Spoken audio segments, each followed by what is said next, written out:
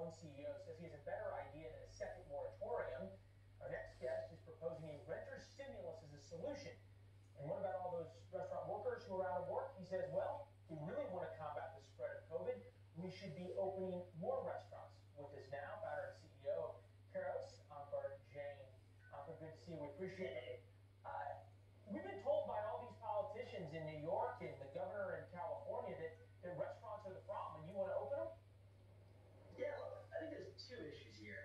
First is, how are we going to stop the spread? And the second is, what are we going to do about the millions of people whose livelihoods are being affected by these shutdowns? Now, look, it's easy to assume that shutting down indoor dining is the answer, but it turns out the data, the science, actually tells us something differently. So if you look at Governor Cuomo's own state data, what we're seeing is that less than 1.5